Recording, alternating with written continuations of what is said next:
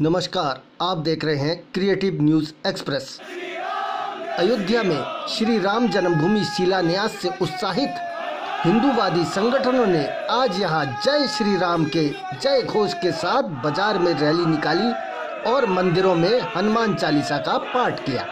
दीप व बजरंग दल कार्यकर्ता काफ़ी संख्या में यहाँ भैरव मंदिर परिसर में एकत्रित हुए और एक ईंट भगवान श्री राम को समर्पित करने के बाद हनुमान चालीसा का पाठ किया। इसके बाद बाज़ार में भगवा ध्वज के साथ जोरदार रैली निकाली गई। कलेक्ट्रेट में भी कार्यकर्ताओं ने नाच गाकर अपनी खुशी का इजहार किया।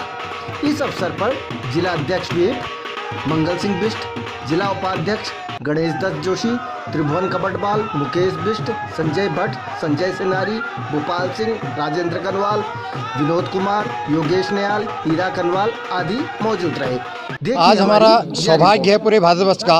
जितने राम भक्त हैं, सभी का सौभाग्य है, प्राप्त हमको हुआ है 500 वर्षों से जिसके लिए हम तपस्या कर रहे थे। वो आज आज हमको आज सफलता उसमें प्राप्त हो चुकी है और देश के प्रधानमंत्री, यशस्वी प्रधानमंत्री नरेंद्र मोदी जी द्वारा आज उसका शिलान्यास किया गया। पूरे भारतवर्ष में खुशी का माहौल है। आज हमने अल्मोड़ा में भी इसी खुशी को ज़ाहिर करने के लिए सभी राम भक्तों को इसमें बुलाया था और भैरव मंदिर से पूजा अर्चना के बाद हमने जो है राम मंदिर तक कलेक्ट्रेट के राम मंदिर की परिक्रमा की और प्रसाद का वितरण किया गया। सारे राम भक्तों का मैं धन्यवाद करना चाहता हूँ और इस जन्मभूमि, पावन जन्मभूमि, देश के इस जन्मभूमि पर जन्मे हुए सभी राम भक्तों का मैं धन्यवाद करना चाहता हूँ जिन्होंने इसमें सहयोग किया।